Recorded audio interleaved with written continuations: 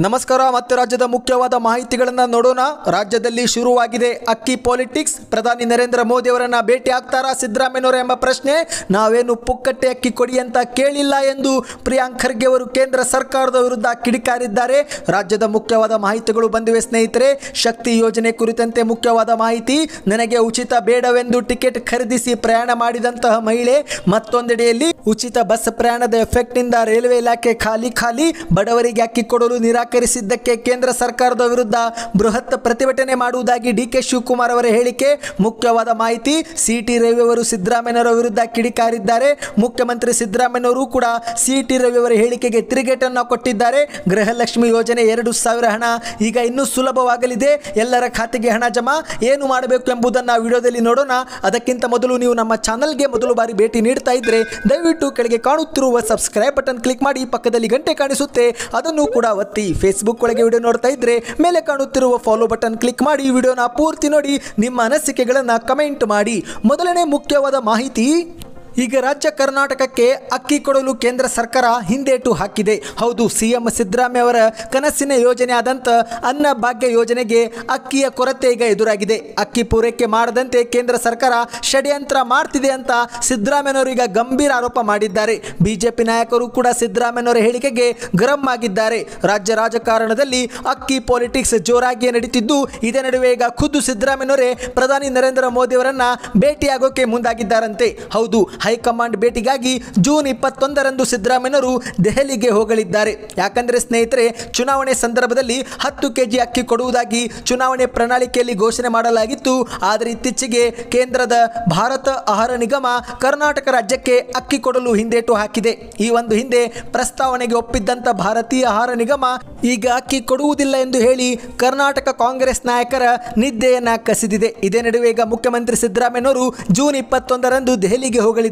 ಇದೇ ವೇಳೆ ಅವಕಾಶ ಸಿಕ್ಕರೆ ಪ್ರಧಾನಿ ನರೇಂದ್ರ ಮೋದಿ ಮತ್ತು ರಾಷ್ಟ್ರಪತಿಯನ್ನ ಭೇಟಿ ಮಾಡಿ ಬರಲಿದ್ದಾರಂತೆ. ಸೌಜನ್ಯ ಭೇಟಿ ವೇಳೆ ಕರ್ನಾಟಕ ವಿಚಾರಗಳ ಬಗ್ಗೆಯೂ ಕೂಡ ಪ್ರಸ್ತಾಪಿಸುವ ಸಾಧ್ಯತೆ ಇದೆ. ಅದರಲ್ಲಿ ಮುಖ್ಯವಾಗಿ ಅನ್ನಭಾಗ್ಯಕ್ಕೆ ನೀಡುವಂತಹ ಅಕ್ಕಿ ಬಗ್ಗೆ ಚರ್ಚೆ ಮಾಡಲಿದ್ದಾರಂತೆ. ಇನ್ನು ಇದು ಒಂದು ಕಡೆ ಆದರೆ ಮತ್ತೊಂದೆಡೆಯಲ್ಲಿ ಪ್ರಿಯಾಂಕ್ ಖರ್ಗೆ ಅವರು ಕೂಡ ಕೇಂದ್ರ ಸರ್ಕಾರದ ವಿರುದ್ಧ ಕಿಡಿಕಾರಿದ್ದಾರೆ. ಹೌದು, ಅನ್ನ ಭಾಗ್ಯ ಯೋಜನೆಗೆ ಅಕ್ಕಿ ನೀಡಲು ಕೇಂದ್ರ ಸರ್ಕಾರ ನಿರಾಕರಿಸಿರುವುದನ್ನ ಸಚಿವ ಪ್ರಿಯಾಂಕ್ ಖರ್ಗೆ ಅವರು ಖಂಡಿಸಿದ್ದಾರೆ. ಇದೇ ವಿಚಾರ ಕುರಿತಂತೆ ಬೆಂಗಳೂರಿನಲ್ಲಿ ಮಾತನಾಡಿದಂಥ ಪ್ರಿಯಾಂಕ್ ಖರ್ಗೆ ಅವರು ದುರುದ್ದೇಶದಿಂದಲೇ ಕೇಂದ್ರ ಸರ್ಕಾರ ಈ ರೀತಿ ಮಾಡಿದೆ. ನಾವೇನು ಪುಕ್ಕಟ್ಟೆ ಅಕ್ಕಿ ಕೊಡಿ ಅಂತ ಕೇಳಲ್ಲ. ನಾವು ಕೂಡ ದುಡ್ಡು ಕೊಡ್ತೀವಿ. ಆದರೂ ಕೂಡ ಅಕ್ಕಿ ಕೊಡಿ ಎಂದರೂ ಕೂಡ ಕೊಡ್ತಿಲ್ಲ ಎಂದು ಹೇಳಿಕೆ ಕೊಟ್ಟಿದ್ದಾರೆ. ಯಾಕೆ ಕೊಡಲ್ಲ ಅಂತ ಕೇಂದ್ರ ಸರ್ಕಾರ ನಮಗೆ ಹೇಳಬೇಕು ಎಂದು ಕಿಡಿಕಾರಿದ್ದಾರೆ. ದುಡಿಯುವ ಕೈಯನ್ನು ಚೆನ್ನಾಗಿ ನೋಡ್ಕೋತೀವಿ ಅಂದರೆ ಯಾಕೆ ಅಡ್ಡಗಾಲು ಹಾಕ್ತಿದ್ದಾರೆ? ಇದನ್ನ ನೋಡಿಕೊಂಡು ನಾವು ಸುಮ್ಮನೆ ಕುಳಿತುಕೊಳ್ಳಲ್ಲ. ಬೇರೆ ರಾಜ್ಯದಿಂದ ಖಾಸಗಿ ಆಗಿ ಆಹಾರ ಧಾನ್ಯಗಳನ್ನು ತೆಗೆದುಕೊಂಡು ಬರ್ತೀವಿ. ಆದರೆ ಈಗ ನಮಗೆ ಯಾಕೆ ಕೇಂದ್ರ ಸರ್ಕಾರ ಅಕ್ಕಿ ಕೊಡಲು ತಯಾರಿಲ್ಲ ಎಂದು ರಾಜ್ಯದ ಬಿಜೆಪಿ ನಾಯಕರು ನಮಗೆ ಉತ್ತರ ಕೊಡಬೇಕು ಎಂದು ಒತ್ತಾಯಿಸಿದ್ದಾರೆ. ಇನ್ನು ಮೂರನೇ ಮುಖ್ಯವಾದ ಮಾಹಿತಿ ಅದಕ್ಕೂ ಮೊದಲು ವಿಡಿಯೋ ಇಷ್ಟವಾಗ್ತಿದ್ರೆ ದಯವಿಟ್ಟು ಲೈಕ್ ಮಾಡಿ, ಚಾನಲ್ಗೂ ಕೂಡ ಸಬ್ಸ್ಕ್ರೈಬ್ ಮಾಡಿ. ಮೂರನೇ ಮುಖ್ಯವಾದ ಮಾಹಿತಿ ಈಗಾಗಲೇ ರಾಜ್ಯಾದ್ಯಂತ ಶಕ್ತಿ ಯೋಜನೆಗೆ ಚಾಲನೆ ಕೊಟ್ಟಾಗಿದೆ. ಮಹಿಳೆಯರು ಎಲ್ಲಿ ಬೇಕಾದರೂ ಎಷ್ಟು ಬಾರಿ ಆದರೂ ಕೂಡ ಉಚಿತ ಪ್ರಯಾಣ ಮಾಡಬಹುದಾಗಿದೆ. ಹೌದು, ಆಧಾರ್ ಕಾರ್ಡ್ ಅಥವಾ ಯಾವುದಾದರೂ ವಾಸಸ್ಥಳದ ಗುರುತಿನ ಚೀಟಿ ಮೂಲಕ ಉಚಿತವಾಗಿ ಒಂದು ಸ್ಥಳದಿಂದ ಮತ್ತೊಂದು ಸ್ಥಳಕ್ಕೆ ಮಹಿಳೆಯರು ಪ್ರಯಾಣಿಸಬಹುದು. ಆದರೆ ಇದೇ ನಡುವೆ ನನಗೆ ಉಚಿತ ಟಿಕೆಟ್ ಬೇಡವೆಂದು ಟಿಕೆಟ್ ಅನ್ನ ಖರೀದಿಸಿ ಒಬ್ಬಳು ಮಹಿಳೆ ಪ್ರಯಾಣ ಮಾಡಿದ್ದು ಈಗ ರಾಜ್ಯದಲ್ಲಿ ಭಾರಿ ವೈರಲ್ ಆಗಿದೆ. ಹೌದು, ಬಸ್ನಲ್ಲಿ ಉಚಿತ ಪ್ರಯಾಣ ಮಾಡುತ್ತಿರುವ ಮಹಿಳೆಯರ ನಡುವೆನೆ ಶಂಕರಮ್ಮ ರಾಘವೇಂದ್ರ ಎನ್ನುವರು ಶೂನ್ಯ ಟಿಕೆಟ್ ಅನ್ನ ನಿರಾಕರಿಸಿ ಹಣ ಕೊಟ್ಟು ಟಿಕೆಟ್ ಪಡೆದು ಎಲ್ಲರ ಗಮನವನ್ನ ಸೆಳೆದಿದ್ದಾರೆ. ಹೌದು, ಬುಧವಾರ ಸಮೀಪದ ಕಮತಗಿ ಪಟ್ಟಣಕ್ಕೆ ಸಾರಿಗೆ ಸಂಸ್ಥೆ ಬಸ್ನಲ್ಲಿ ತೆರಳುವ ವೇಳೆ ಕಂಡಕ್ಟರ್ ಆಧಾರ್ ಕಾರ್ಡ್ ತೋರಿಸಿ ಟಿಕೆಟ್ ಉಚಿತವಾಗಿ ಕೊಡುತ್ತೇನೆ ಎಂದಾಗ ಅದನ್ನು ಅವರು ನಿರಾಕರಿಸಿದ್ದಾರೆ. ಇದೇ ನಡುವೆ ಮಾತನಾಡಿದಂಥ ಶಂಕರಮ್ಮ ಅವರು, ಉಚಿತ ಘೋಷಣೆಗಳಿಂದ ದೇಶ ಮತ್ತು ರಾಜ್ಯದ ಆರ್ಥಿಕ ಪರಿಸ್ಥಿತಿ ಏರುಪೇರು ಆಗುತ್ತದೆ. ಒಂದು ಕಡೆ ಉಚಿತವೆಂದು ಮತ್ತೊಂದು ಕಡೆಗೆ ತೆರಿಗೆ ಹೇರುವ ಮೂಲಕ ಪರೋಕ್ಷವಾಗಿ ನಾವೆಲ್ಲವನ್ನೂ ಕೂಡ ನಮ್ಮ ಮೈ ಮೇಲೆ ಎಳೆದುಕೊಳ್ಳುವ ಸನ್ನಿವೇಶದಲ್ಲಿದ್ದೇವೆ. ಹೀಗಾಗಿ ನನಗೆ ಉಚಿತ ಯೋಜನೆಗಳು ಬೇಡ. ನನಗೆ ಟಿಕೆಟ್ ಕೊಡಿ ಎಂದು ಹಣವನ್ನು ನೀಡಿದ್ದಾರೆ. ಒಂದು ವೇಳೆ ಏನಾದರೂ ಸರ್ಕಾರ ಉಚಿತವಾಗಿ ನೀಡುವುದಾದರೆ ಆರೋಗ್ಯ ಶಿಕ್ಷಣ ನೀಡಲಿ ಎಂದು ಒತ್ತಾಯಿಸಿದ್ದಾರೆ. ಇಂದಿನ ದಿನಗಳಲ್ಲಿ ಖಾಸಗೀಕರಣ ಸೇವೆಯಿಂದ ಬಹುತೇಕ ಜಾಗದಲ್ಲಿ ಸರ್ಕಾರಿ ವ್ಯವಸ್ಥೆಯಲ್ಲಿ ಸೌಲಭ್ಯನೇ ಸಿಗುತ್ತಿಲ್ಲ.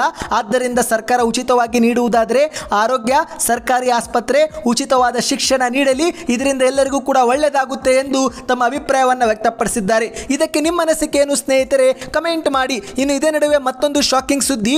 ಈಗ ಉಚಿತ ಬಸ್ ಪ್ರಯಾಣ ಶುರುವಾಗುತ್ತಿದೆ. ಇದ್ದಕ್ಕಿದ್ದಂತೆ ರೈಲ್ವೆ ಇಲಾಖೆಯಲ್ಲಿ ಭಾರಿ ನಷ್ಟ ಉಂಟಾಗುತ್ತಿದೆ. ಹೌದು, ಮಹಿಳಾ ಪ್ರಯಾಣಿಕರ ಉಚಿತ ಟಿಕೆಟ್ ಶಕ್ತಿ ಯೋಜನೆಗೆ ವಿಜಯಪುರ ಜಿಲ್ಲೆಯಲ್ಲಿ ಅಲ್ಲಿನ ಮಹಿಳೆಯರಿಂದ ಅಭೂತಪೂರ್ವ ಸ್ಪಂದನೆ ಸಿಕ್ಕಿದೆ. ಹೌದು, ಉಚಿತ ಪ್ರಯಾಣ ಆಗುತ್ತಿದ್ದಂತೆ ಇಷ್ಟು ದಿನ ರೈಲು ಮೂಲಕ ಪ್ರಯಾಣ ಮಾಡುತ್ತಿದ್ದಂಥ ಮಹಿಳೆಯರು ಕೂಡ ಈಗ ರೈಲ್ವೆ ಸಂಚಾರಕ್ಕೆ ಬ್ರೇಕ್ ಹಾಕಿ ಸ್ವಲ್ಪ ತಡವಾದರೂ ಚಿಂತೆ ಇಲ್ಲ ಎಂದು ಬಸ್ ಅನ್ನ ಹತ್ತುತ್ತಿದ್ದಾರೆ. ಹೌದು ಸ್ನೇಹಿತರೆ, ವಿಜಯಪುರದ ಕೇಂದ್ರ ಬಸ್ ನಿಲ್ದಾಣ ಈ ಒಂದು ಹಿಂದೆ ಖಾಲಿ ಖಾಲಿ ಆಗಿರುತ್ತಿತ್ತು ಪ್ರಯಾಣಿಕರು ಇಲ್ಲ ಎಂದು ಬಸ್ಗಳು ಖಾಲಿಯಾಗಿನೇ ಸಂಚರಿಸುತ್ತಿತ್ತು. ಆದರೆ ಈಗ ಮಹಿಳೆಯರ ಪ್ರಮಾಣ ಸಂಖ್ಯೆ ಏಕಾಏಕಿ ಬಸ್ ನಿಲ್ದಾಣದಲ್ಲಿ ಹೆಚ್ಚಾಗಿದೆ. ಆದರೆ ದೇಶದ ಆರ್ಥಿಕ ಶಕ್ತಿ ತುಂಬುವಂತ ರೈಲುಗಳು ಇಂದು ಖಾಲಿ ಖಾಲಿ ಸಂಚರಿಸುತ್ತಿವೆ. ಜನ ಜಂಗುಳಿಯಿಂದ ಕೂಡುತ್ತಿದ್ದಂಥ ರೈಲ್ವೆ ನಿಲ್ದಾಣ ಇಂದು ಖಾಲಿಯಾಗಿದೆ ಸ್ನೇಹಿತರೆ. ಎಲ್ಲ ಮಹಿಳೆಯರು ಬಸ್ಸಿನ ಕಡೆ ಮುಖ ಮಾಡಿದ್ದಾರೆ. ಹೌದು, ಶಕ್ತಿ ಯೋಜನೆ ಜಾರಿಗೆ ಆಗುತ್ತಿದ್ದಂತೆ ರಾಜ್ಯದಲ್ಲಿ ಕಳೆದ ಐದು ದಿನಗಳಿಂದ ಮಹಿಳೆಯರಲ್ಲಿ ಸಂಭ್ರಮ ಮನೆ ಮಾಡಿದೆ. ಒಂದು ಬಾರಿ ಆದರೂ ಕೂಡ ಉಚಿತ ಪ್ರಯಾಣ ಮಾಡಿದರೆ ಆಯಿತು ಎಂದು ಸಂಭ್ರಮದಿಂದಲೇ ಪ್ರತಿಯೊಬ್ಬರು ಕೂಡ ಬಸ್ಗಾಗಿ ಕಾಯುತ್ತಿದ್ದಾರೆ. ಸ್ವಲ್ಪ ತಡವಾದರೂ ಚಿಂತೆ ಇಲ್ಲ ಎಂದು ಬಸ್ಸಿಗೆನೆ ಕಾಯುತ್ತಿದ್ದರೆ ಹೊರತು ಬೇರೆ ಯಾವುದೇ ಸಾರಿಗೆ ಒಂದು ವಾಹನಗಳನ್ನು ಏರುತ್ತಿಲ್ಲ. ಇದೊಂದು ಮುಖ್ಯವಾದ ಮಾಹಿತಿಯಾಗಿದೆ ಸ್ನೇಹಿತರೆ. ಇದಕ್ಕೆ ನಿಮ್ಮ ಅನಿಸಿಕೆಯನ್ನು ನೀವು ಕಮೆಂಟ್ ಮಾಡಿ. ಇನ್ನು ಮತ್ತೊಂದು ಮುಖ್ಯವಾದ ಮಾಹಿತಿ ಅದಕ್ಕಿಂತ ಮೊದಲು ಯಾವ ಊರಿನಿಂದ ನೀವು ವಿಡಿಯೋ ನೋಡ್ತಿದ್ದೀರಾ ಎಂಬುದನ್ನು ಕೂಡ ಕಮೆಂಟ್ ಮಾಡಿ. ಇದರಿಂದ ನಮಗೆ ಒಂದು ಉತ್ತಮ ಫೀಡ್ಬ್ಯಾಕ್ ಸಿಗುತ್ತದೆ. ಈಗ ಮತ್ತೊಂದು ಶಾಕಿಂಗ್ ಸುದ್ದಿ ಸ್ನೇಹಿತರೆ, ಅದೇನೆಂದರೆ ಬಡವರಿಗೆ ಅಕ್ಕಿ ಕೊಡಲು ನಿರಾಕರಿಸಿದ್ದಕ್ಕೆ ಕೇಂದ್ರ ಸರ್ಕಾರದ ವಿರುದ್ಧ ಜೂನ್ ಇಪ್ಪತ್ತರಂದು ಬೃಹತ್ ಪ್ರತಿಭಟನೆ ಮಾಡುವಂತೆ ಡಿ ಕೆ ಶಿವಕುಮಾರ್ ಅವರು ಕರೆ ಕೊಟ್ಟಿದ್ದಾರೆ. ಹೌದು, ರಾಜ್ಯದ ಪ್ರತಿಷ್ಠಿತ ಯೋಜನೆ ಆದಂಥ ಅನ್ನಭಾಗ್ಯ ಜಾರಿಗೆಗೆ ಅಗತ್ಯ ಅಕ್ಕಿ ಖರೀದಿ ಮಾಡುವುದಕ್ಕೆ ಕೇಂದ್ರ ಸರ್ಕಾರ ಮತ್ತು ಭಾರತೀಯ ಆಹಾರ ಪ್ರಧಿಕಾರ ಅವಕಾಶ ನಿರಾಕರಿಸಿದ್ದಕ್ಕೆ ಇದು ಬಿಜೆಪಿಯ ದೇಶ ರಾಜಕಾರಣ ಮತ್ತು ಬಡವರ ವಿರೋಧಿಗೆ ನೀತಿಗೆ ಸಾಕ್ಷಿ ಎಂದು ಡಿ ಕೆ ಶಿವಕುಮಾರ್ ಅವರು ಆಕ್ರೋಶ ವ್ಯಕ್ತಪಡಿಸಿದ್ದಾರೆ. ಇದೇ ಕುರಿತಂತೆ ಕರ್ನಾಟಕ ಕಾಂಗ್ರೆಸ್ ಈಗ ಜೂನ್ ಇಪ್ಪತ್ತರಂದು ರಾಜ್ಯದ ಎಲ್ಲಾ ಜಿಲ್ಲಾ ಕೇಂದ್ರಗಳಲ್ಲಿ ಪ್ರತಿಭಟನೆ ಮಾಡಿ ಜನರಲ್ಲಿ ಇದರ ಕುರಿತಂತೆ ಅರಿವು ಮೂಡಿಸಲಿದೆ ಎಂದು ಉಪಮುಖ್ಯಮಂತ್ರಿ ಡಿ ಕೆ ಶಿವಕುಮಾರ್ ಅವರು ಹೇಳಿಕೆ ಕೊಟ್ಟಿದ್ದಾರೆ. ಕೆಪಿಸಿಸಿ ಕಚೇರಿಯಲ್ಲಿ ಮಾಧ್ಯಮ ಗೋಷ್ಠಿಯಲ್ಲಿ ಮಾತನಾಡಿದಂಥ ಡಿ ಕೆ ಶಿವಕುಮಾರ್ ಅವರು, ಕಾಂಗ್ರೆಸ್ ಸರ್ಕಾರವು ಅನ್ನಭಾಗ್ಯ ಯೋಜನೆ ಮೂಲಕ ಹತ್ತು ಕೆಜಿ ಅಕ್ಕಿ ನೀಡಲು ಬದ್ಧವಾಗಿದೆ. ಕಾಂಗ್ರೆಸ್ ಐದು ಗ್ಯಾರಂಟಿಗಳನ್ನು ಘೋಷಣೆ ಮಾಡಿದ್ದು ಈ ಎಲ್ಲವೂ ಕೂಡ ಜಾರಿಗೆ ಆಗಲಿದೆ. ಆದರೆ ವಿರೋಧ ಪಕ್ಷದ ಸ್ನೇಹಿತರು ಅನೇಕ ಟೀಕೆಗಳನ್ನು ಮಾಡ್ತಿದ್ದಾರೆ ಎಂದು ಆಕ್ರೋಶ ವ್ಯಕ್ತಪಡಿಸಿದ್ದಾರೆ. ಸರ್ಕಾರ ಬಂದ ಮೊದಲ ದಿನವೇ ಆದೇಶವನ್ನು ನಾವು ಹೊರಡಿಸಿ ನಮ್ಮ ಬದ್ಧತೆಯನ್ನು ನಾವು ಪ್ರದರ್ಶಿಸಿದ್ದೇವೆ. ಎರಡನೇ ಸಂಪುಟ ಸಭೆಯಲ್ಲಿ ಯೋಜನೆಗಳ ಜಾರಿಗೆ ಸಮಯವನ್ನು ನಿರ್ಧರಿಸಿದ್ದೇವೆ. ಆದರೂ ಕೂಡ ವಿಪಕ್ಷಗಳು ಟೀಕೆ ಮಾಡ್ತಿದ್ದಾರೆ. ಅವರ ಟೀಕೆಗೆ ನಾವು ಉತ್ತರ ನೀಡುವುದಿಲ್ಲ. ಟೀಕೆ ಇವತ್ತು ಇರುತ್ತವೆ, ನಾಳೆ ಸಾಯುತ್ತವೆ, ಆದರೆ ಕೆಲಸ ಉಳಿಯುತ್ತದೆ ಎಂದು ನಾನು ನಂಬಿದ್ದೇನೆ ಎಂದು ಡಿ ಕೆ ಶಿವಕುಮಾರ್ ಅವರು ಹೇಳಿಕೆ ಕೊಟ್ಟಿದ್ದಾರೆ. ಇದೇ ನಡುವೆ ಕೇಂದ್ರ ಸರ್ಕಾರದ ವಿರುದ್ಧ ಬೃಹತ್ ಪ್ರತಿಭಟನೆ ಮಾಡಲು ಕರೆ ಕೊಟ್ಟಿದ್ದಾರೆ. ಜೂನ್ ಇಪ್ಪತ್ತರಂದು ಬೃಹತ್ ಪ್ರತಿಭಟನೆ ಮಾಡಲಿದ್ದು, ರಾಜ್ಯಾದ್ಯಂತ ಎಲ್ಲ ಜಿಲ್ಲಾ ಕೇಂದ್ರಗಳಲ್ಲಿ ಪ್ರತಿಭಟನೆ ಮಾಡಿ ಜನರಲ್ಲಿ ಅರಿವು ಮೂಡಿಸುತ್ತೇವೆ ಎಂದು ಉಪಮುಖ್ಯಮಂತ್ರಿ ಡಿ ಕೆ ಶಿವಕುಮಾರ್ ಅವರು ಹೇಳಿಕೆ ಕೊಟ್ಟಿದ್ದಾರೆ. ಇನ್ನು ಇದರ ನಡುವೆ ಮತ್ತೊಂದು ಶಾಕಿಂಗ್ ಸುದ್ದಿ. ಅದೇನೆಂದರೆ ಇತ್ತೀಚೆಗೆ ಮುಖ್ಯಮಂತ್ರಿ ಸಿದ್ದರಾಮಯ್ಯನವರು ಭಾರತೀಯ ಆಹಾರ ನಿಗಮ ನಮಗೆ ಅಕ್ಕಿ ಕೊಡುವುದಾಗಿ ಹೇಳಿ ಈಗ ಹಿಂದೇಟು ಹಾಕುತ್ತಿದ್ದಾರೆ ಎಂದು ಆರೋಪ ಮಾಡಿದ್ರು. ಇದೇ ಒಂದು ಆರೋಪಕ್ಕೆ ಸಿ ಟಿ ರವಿ ಅವರು ಸಿದ್ದರಾಮಯ್ಯನವರ ವಿರುದ್ಧ ಕಿಡಿಕಾರಿದ್ರು. ನೀವು ಸುಳ್ಳು ರಾಮಯ್ಯ ಅಲ್ಲ ಅನ್ನೋದಾದ್ರೆ ಕಮಿಟ್ಮೆಂಟ್ ಲೆಟರ್ ತೋರಿಸಲಿ ಎಂದು ಸವಾಲನ್ನು ಹಾಕಿದ್ರು. ಭಾರತೀಯ ಆಹಾರ ನಿಗಮ ಅಕ್ಕಿ ಕೊಡುವುದಾಗಿ ಹೇಳಿತ್ತು ಅಂತಿರಲ್ಲ.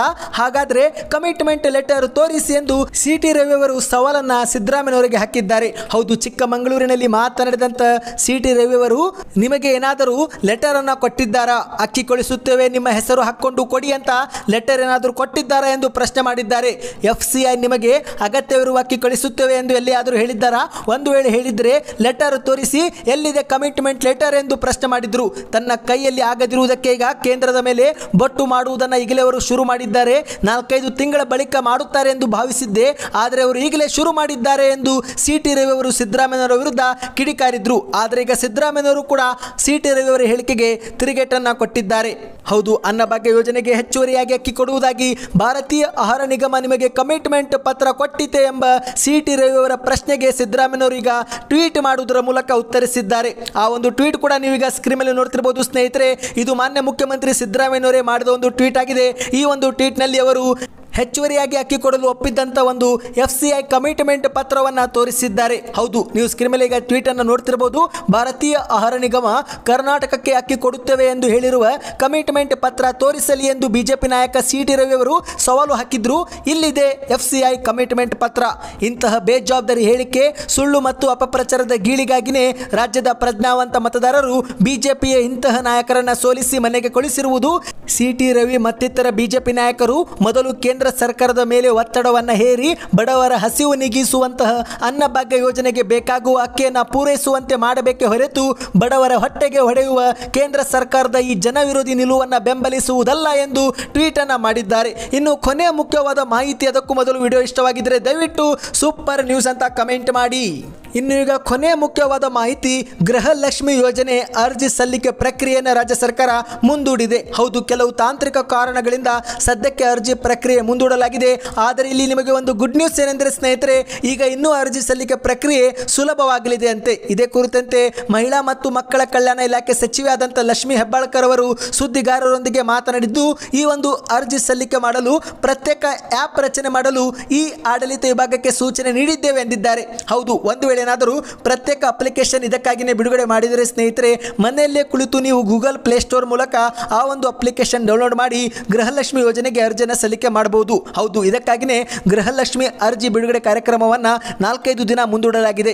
ಯಾಕಂದರೆ ಸ್ನೇಹಿತರೆ, ಈ ಒಂದು ಅರ್ಜಿ ಸಲ್ಲಿಕೆ ಏನಾದರೂ ಶುರುವಾದರೆ ಬೆಂಗಳೂರು ಒನ್, ಕರ್ನಾಟಕ ಒನ್ ಮತ್ತು ಇತರ ಗ್ರಾಮ ಒನ್ ಕೇಂದ್ರಗಳಲ್ಲಿ ಅರ್ಜಿ ಸಲ್ಲಿಸುವುದಕ್ಕೆ ಜನ ಮುಗಿಬೀಳುತ್ತಾರೆ. ಇದರಿಂದ ಹಲವು ಜನರಿಗೆ ತೊಂದರೆ ಆಗಬಹುದು. ಇದೇ ಕಾರಣಕ್ಕಾಗಿಯೇ ಹೊಸ ಒಂದು ಅಪ್ಲಿಕೇಶನ್ ಅನ್ನು ರಚನೆ ಮಾಡಿ ಈ ಒಂದು ಅರ್ಜಿ ಪ್ರಕ್ರಿಯೆ ಇನ್ನೂ ಸುಲಭ ಮಾಡಲು ಸರ್ಕಾರ ಈಗ ಚಿಂತನೆ ನಡೆಸಿದೆ.